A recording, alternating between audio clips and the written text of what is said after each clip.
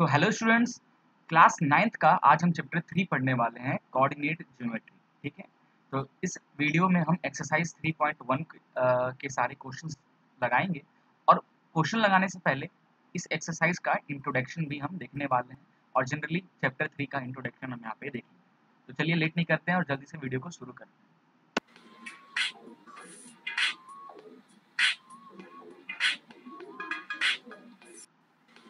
So guys exercise 3.1 जो है, बहुत ही ज़्यादा आसान है। और कहा जाए तो ये चैप्टर थ्री बहुत ही ज़्यादा आसान चैप्टर है। दो, एक आध दो एक्सरसाइज हैं ठीक है? और बहुत आसान आसान क्वेश्चन हैं, जिसको मैं बहुत क्लियरली आपको यहाँ पे बताऊँगा ताकि आपको डाउट ना आए। तो इंट्रोडक्शन एक्सरसाइज के इंट्रोडक्शन में हम पढ़ने क्या वाले हैं? हम पढ़ने वाले हैं कि अगर हमारा ये एक टेबल है, मान लीजिए ये एक हमारा टेबल है, पूरा टेबल है, ठीक है? और इसको मैं इस तरीके से समझाता हूँ।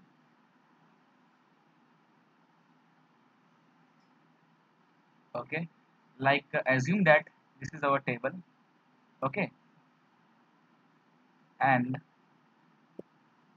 let is assume this is our x axis that is horizontal axis okay and this is our y axis ठीक है? We can write that x axis and this is y-axis okay.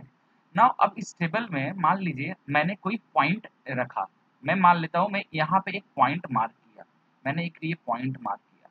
तो इस पॉइंट का location आप कैसे बताओगे? इस, ये प्लेन है। ये एक प्लेन है है ना? कौन सा प्लेन है? ये एक एक्स और एक वाई प्लेन है। एक्स वाई प्लेन हमने लिया है। एक्स वाई प्लेन लिया है। इस प्लेन पे मैंने एक डॉट ब्लैक डॉट मार्क किया है। इस प्लेन पे इसकी लोकेशन बताइए ऑरिजिन के रिस्पेक्ट में, या फिर आपका इस प्लेन का प्लेन पे ओरिजिन के रिस्पेक्ट में नहीं जस्ट अ प्लेन ठीक है? तो हमारा ओरिजिन क्या होता है? एक्स और वाई एक्सिस जो क्रॉस करती है जिस पॉइंट को, ठीक है इस पॉइंट को, इसको हम लोग कहते हैं ऑरिजिन जिसको कैपिटल ओ से दिखाते हैं ओके अब ये देखो, इसको बताने के लिए हम क्या करेंगे? हम इस डिस्टेंस को बताने के लिए एक बार इस डिस्टेंस को देखेंगे कि एक्स से कितनी दूरी पे है और एक बार देखेंगे वाई से कितनी दूरी पे है। ठीक है? तो सबसे पहले क्या करेंगे? हम ये देखते हैं कि ये ये एक्स जो लाइन है एक्स एक्सिस से ये कितनी दूरी पे है। तो हम इसको इस तरीके से एक स्ट्रेट 90 डिग्री लाइन ड्रॉ करेंगे। और फिर हम देखेंगे ये जो डॉट है वाई से कितनी दूरी पे है। तो ये मैंने एक 90 डिग्री ड्रॉ किया इस तरीके से। क्लियर है? और फॉर एग्ज़ाम्पल स्केल से आपने इसको मेज़र किया। स्केल से आप मेज़र करोगे क्या मेज़र करोगे? आपको सिर्फ़ और सिर्फ़ ये जो पॉइंट है, वही मेज़र करना है और कुछ नहीं। फॉर एग्ज़ाम्पल ये ज़ीरो है, ये हमारा वन होगा जस्ट एज्यूम ये हमारा होगा टू इक्वल डिस्टेंस पे रहता है ये three this is for example four and just assume this is five okay और here one two three four and this is five okay मैंने स्केल से मेजर किया कि ये जो लाइन है एक्स एक्सिस पे फाइव पे है और ये वाला जो वाई एक्सिस दूरी पे जो इस डॉट का ये भी फाइव पे है। ओके तो ये पॉइंट का लोकेशन क्या होगा? इस पॉइंट की जो लोकेशन है, वो हो जाएगा five comma five okay generally किसी भी पॉइंट इस प्लेन पे कहीं भी मैं पॉइंट रखूँ, उस पॉइंट को हम एक्स कॉमा वाई से रिप्रेजेंट करते हैं। किसे रिप्रेजेंट करते हैं? एक्स कॉमा वाई से। अब एक्स कॉमा वाई में कैसे लिखेंगे? जैसे मैंने ये पॉइंट ये मार्क किया, इस पॉइंट की एक्स से कितनी दूरी है? ये हमारा एक्स एक्सिस है ना? ये हमारा एक्स एक्सिस है। तो इस एक्स एक्सिस से इसकी दूरी कितनी है? इसकी दूरी अगर देखने के लिए आपको कौन सा लाइन देखना पड़ेगा? आपको वाई एक्सिस वाला देखना पड़ेगा, है ना? आपको वाई एक्सिस देखना पड़ेगा कि कितनी दूरी पे है। कितनी दूरी पे है? फाइव दूरी पे। ओके और वाई क्या है? वाई वाई फाइंड करने के लिए वाई फाइंड करने के लिए वाई से कितनी दूरी पे? ये पॉइंट वाई से कितनी दूरी पे है? तो वाई से ये पॉइंट इतनी दूरी पे है। ठीक है? तो कितनी दूरी पे देखने के लिए आपको एक्स एक्सिस का नंबर देखना होगा। So this is five comma five okay इस तरीके से हम रिप्रेजेंट करते हैं। जैसे आगे हम और डिस्कस करेंगे इसके बारे में डिटेल में बट अभी हम इस एक्सरसाइज को बहुत आसान एक्सरसाइज है, इसको निपटाएँगे। अब ये देखिए, ये आपकी क्लास है। इस क्लास में number of row and number of columns है। ठीक है? Number of row this is इसको रो बोला जाता है। This is number of rows okay this is number of rows and here this is number of columns this is number of columns ये आपका teacher का डेस्क है। अब मैं टीचर बोल रहा है टीचर क्या बोल रही है? किस तरीके से बोलेगी टीचर कि टीचर यहाँ पे जो भी प्रोनाउंस करेगी, वो रो कॉमा कॉलम के अकॉर्डिंग करेगी। रो कॉमा कॉलम्स के अकॉर्डिंग करेगी प्रोनाउंसिएशन ये एक्चुअल में क्या है? एक्स कॉमा वाई तो टीचर ने बोला कि भाई मुझे थर्ड रो ठीक है थर्ड रो फिफ्थ कॉलम का जो बच्चा है थर्ड रो फिफ्थ कॉलम का जो बच्चा है, वो खड़े हो जाओ। तो इसके लिए क्या करना पड़ेगा? ये टीचर के कैसे बच्चा कैसे समझेगा? तो ये पहला रो हो गया ओके ये दूसरा रो और ये तीसरा रो ये तीसरा रो ये पूरा आ जाइए, आ जाएगा, ये तीसरा रो बट इधर से कॉलम कौन सा बोल रहा है? फिफ्थ कॉलम बोल रही है। तो ये हमारा एक, दो, तीन, चार फिफ्थ कॉलम ये। तो जो ये लाइन क्रॉस कर रहा है, ठीक है? थर्ड रो फिफ्थ कॉलम जो जिस पॉइंट पे क्रॉस कर रहा है, यहीं पे वो बच्चा बैठा हुआ ओके, यहीं पे वो बच्चा बैठा हुआ है। इस तरीके से हम प्लेन को या फिर किसी भी पोजीशन को डिफाइन करते हैं। एक्स कॉमा वाई ठीक है? चलिए एक्सरसाइज 3.1 करते हैं। बहुत, दो क्वेश्चन ही है, बहुत आसान है। सबसे पहला जो क्वेश्चन है क्वेश्चन कह रहा है how will you describe the position of table lamp on your study table to another person ठीक है? तो मैं ये एक टेबल बनाया हूँ। इस टेबल पे ये एक लैंप रखा हुआ है। ओके यहाँ पे दो पर्सन है। एक पर्सन हमारा इधर कहीं पे खड़ा है, ठीक है? यहाँ पे कहीं खड़ा है, और दूसरा बंदा हमारा यहाँ पे खड़ा है। तो आप नंबर वन हो तो आप ये टेबल इस टेबल पे, ठीक है? इस टेबल पे बहुत सारे मान लीजिए लैंप जस्ट एज्यूम बहुत सारे लैंप रखे हुए हैं। बट आप उसमें से किसी एक लैंप को चाहते हो कि ये बंदा दूसरा नंबर उसी को पिक करे और किसी लैंप को पिक ना करे, ठीक है? तो उसके लिए आपको कुछ कोऑर्डिनेशन देना होगा। अपने बंदे को ताकि वो वही लैंप उठाए है ना?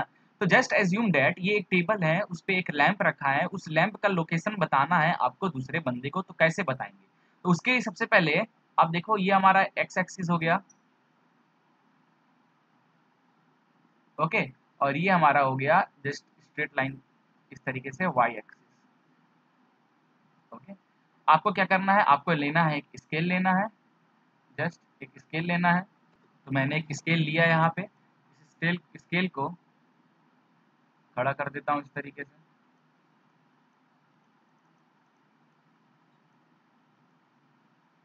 नाइन्टी डिग्री स्ट्रेट कर ओके, नाइन्टी तो सबसे पहले एक्स से उसकी दूरी क्या है, एक मेजर कर लो। एक्स से एक्स एक्सिस से दिस एक्स एक्सिस से कितनी दूरी है? तो मैंने ये मेजर कर लिया कि ये भाई कितनी दूरी है इसका? ओके? ये मैंने कर लिया। अब उसके बाद क्या करूँगा? अब मैं वाई एक्सिस से मेज़र करूँगा। तो वाई एक्सिस से मैं मेज़र करके देखता हूँ भाई क्या है। ज़ीरो कर दूँ स्ट्रेट एकदम ज़ीरो अब वाई एक्सिस से मैं मेज़र करता हूँ इस लेंथ की दूरी।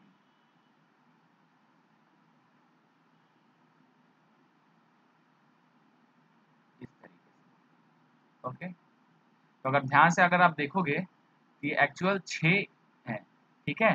तो वाई एक्सिस से कितना सिक्स की दूरी पे है और इधर से अगर आप देखोगे कितना चेक किए थे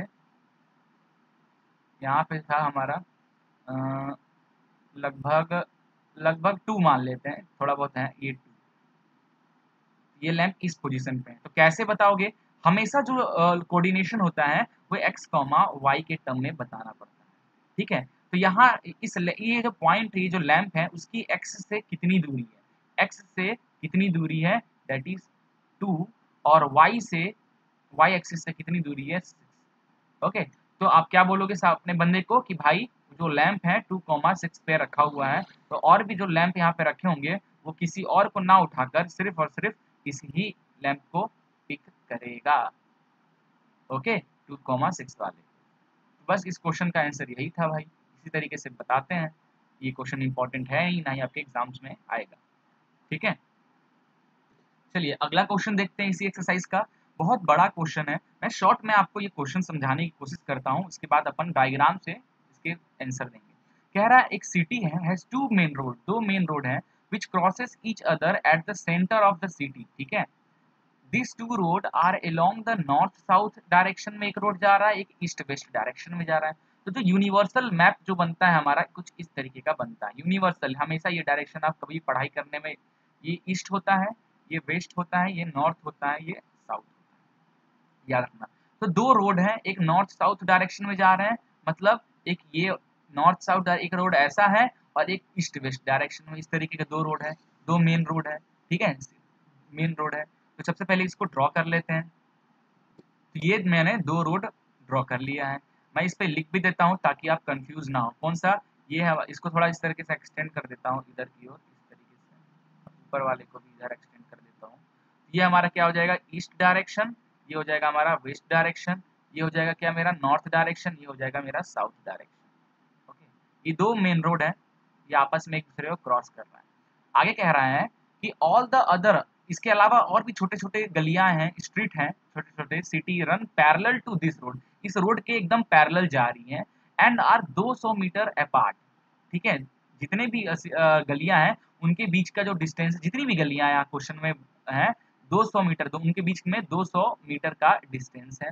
There are five street in each direction okay five street है। इनके एक, दो, तीन, चार, पाँच इस डायरेक्शन में ईस्ट नॉर्थ साउथ में और पाँच किस डायरेक्शन में, पाँच हमारा इस तरीके से होंगे, इस तरीके से okay using one centimetre to hundred metre जो गैप है एक सेंटीमीटर अपने स्केल पे एक एक सेंटीमीटर का गैप लेकर आपको ये ड्रॉ करना है।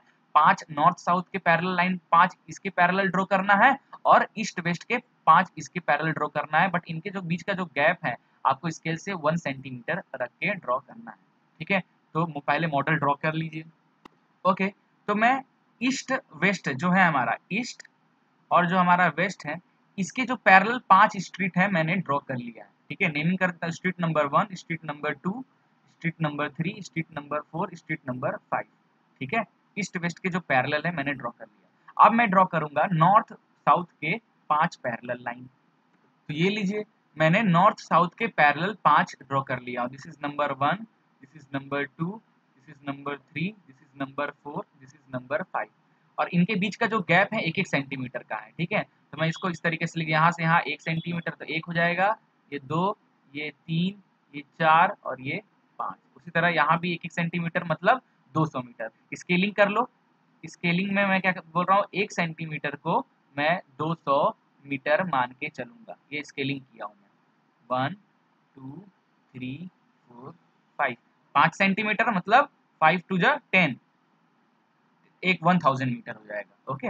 अब आगे क्या कह रहा है? There are many cross street in your model हाँ बहुत सारे क्रॉस स्ट्रीट हमको दिख रहे हैं। जो कि रेड और ग्रीन दिख रहा है ना रेड और ग्रीन बहुत सारे एक दूसरे को क्रॉस कर रहे हैं। A particular cross street is made by two street one running in the north south direction another is east west direction हाँ तो पाँच है, पाँचों एक दूसरे को क्रॉस कर रहे हैं।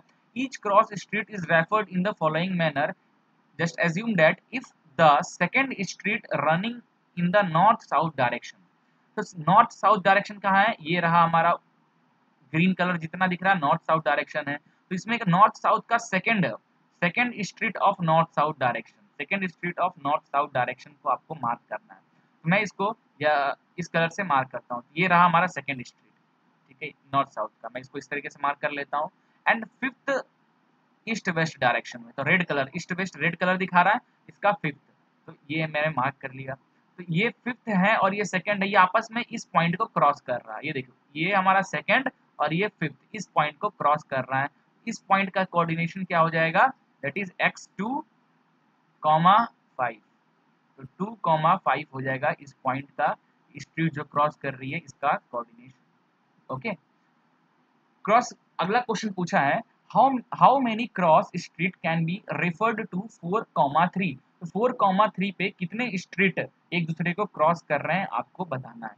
तो फोर एक्स है और ये वाई है तो एक्स एक्सिस पे चार जाइए ये मैं चला गया एक्स एक्सिस पे चार, और कितना? तीन वाई एक्सिस पे तो तीन वाई एक्सिस पे जाएँगे तो ये क्रॉस कहाँ करेगा? देखो, ये फोर है ना? और ये थ्री ये इस पॉइंट पे क्रॉस कर रहा है। तो यहाँ पे कितने स्ट्रीट क्रॉस कर रहे हैं? फोर कॉमा थ्री पे। तो भाई, एक रेड कलर का दिख रहा है, एक ग्रीन कलर का एक ही स्ट्रीट दिख रहा है। और इसको शो करना है फिगर में तो मैंने ये पॉइंट शो कर दिया कितना? फोर कॉमा थ्री अगला है how many cross street can be referred at three comma four x axis पे थ्री जाइए, ये आ गया, और वाई एक्सिस पे फोर जाइए फोर जाइए। इनको इस तरीके से एक्सटेंड कीजिए इधर का थ्री ये तो ये पॉइंट मिला, ठीक है? ये क्या हो जाएगा? थ्री कॉमा फोर यहाँ भी एक रेड और एक ग्रीन लाइन जा रहा है तो एक ही स्ट्रीट क्रॉस कर रहा है एक दूसरे को, ठीक है? यहाँ पे दो स्ट्रीट है, जो एक दूसरे को क्लियर है? सो इस तरीके से आपको रिप्रेजेंट करके फिगर बनाकर ये सब पॉइंट आपको जनरली ये सब पॉइंट आपको मार्क करना था क्लियर है तो आई थिंक ये सीख गए होंगे। नेक्स्ट लेक्चर में हम अगला एक्सरसाइज लगाएँगे। वीडियो पसंद आया तो लाइक कीजिए सब्सक्राइब कीजिए और शेयर कीजिए अपने फ्रेंड्स